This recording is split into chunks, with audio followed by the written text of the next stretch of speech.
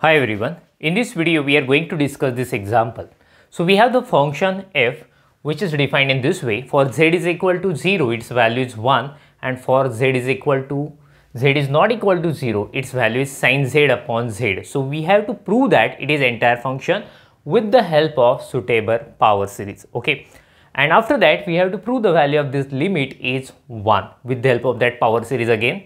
So here we have to use suitable power series. So here the well-known function is a sine z and we are familiar with its power series. We are going to use it now. So let us right here we have so we all are familiar with power, power series of sine z which is z minus z cube by 3 factorial plus z raised to 5 by 5 factorial and so on having alternate minus plus signs. As you can see here, we have to divide by z. So let us divide both sides by z. So therefore, sine z upon z is equal to, so here in right hand side, we can divide each term by z separately. So the power of z will reduce by 1 and we will have 1 minus here we have z square by 3 factorial plus z raised to 4 by 5 factorial and so on since we have divided each term by z separately, right? So sin z upon z is equal to this power series. So that means sin z upon z has a power series representation. Let me mention here.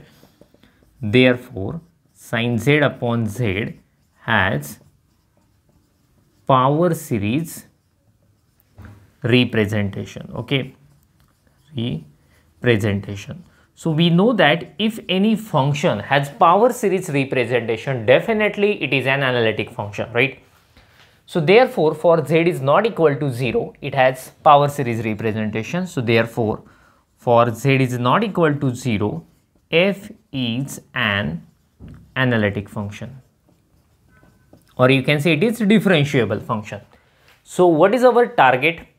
Our target is to prove it is an entire function entire function means what it should be analytic everywhere getting or you can say it is differentiable everywhere for z is not equal to 0 we have already proved it is analytic. So simply we have to check its differentiability at z is equal to 0 so let us do that. Let me mention. Now now we will discuss differentiability at z is equal to 0.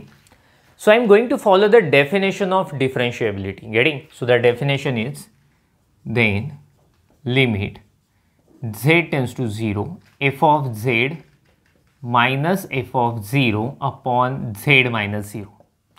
So by definition of differentiability we got this one differentiability at z is equal to 0. So let us put the values the value of f of z is sine z upon z. Okay. The value of f of 0 that means at z is equal to 0 its value is 1 and z minus 0 is obviously z. So this is equal to limit z tends to 0. Sine z upon z has this power series representation so I am going to put its value there.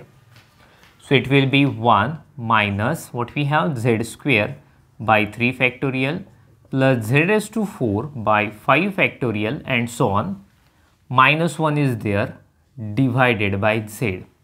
So what will happen this plus 1 and minus 1 will get cancelled to each other right. So this is equal to limit z tends to 0.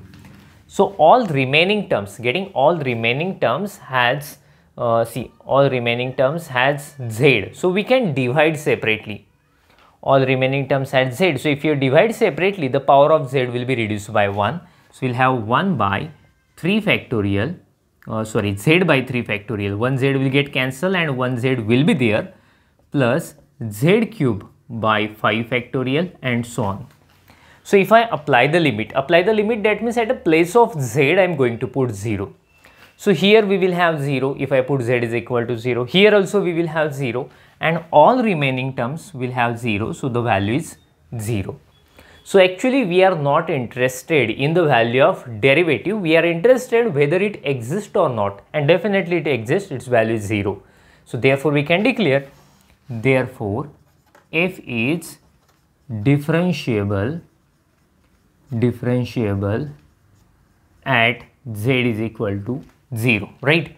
So if z is not equal to 0 it is already differentiable or you can say it is already analytic. And for z is equal to 0 also it is differentiable so therefore the function f is analytic everywhere on a complex plane okay?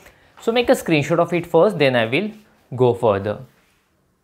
So here already i have declared the function is entire function. Since it is differentiable at z is equal to 0 otherwise uh, and for z is not equal to 0 it is also differentiable right?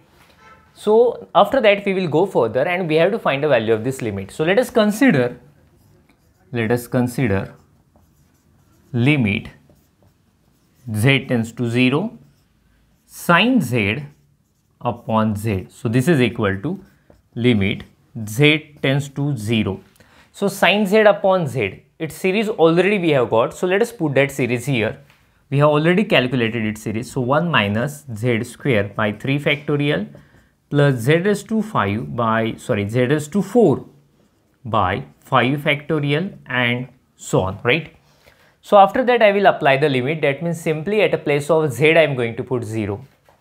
So 1 is a constant. It will be as it is here I am going to put 0, so value will be 0, here also 0 and all remaining terms will be 0.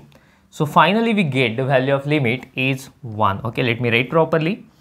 So the value of this limit is 1. So in this way, prove that. Make a screenshot of it, then we will stop. Thank you. See you.